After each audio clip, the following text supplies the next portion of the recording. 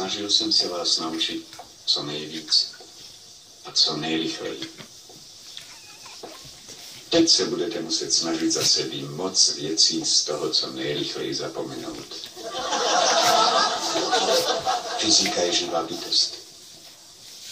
A co platí dnes? Zítra platit nebude.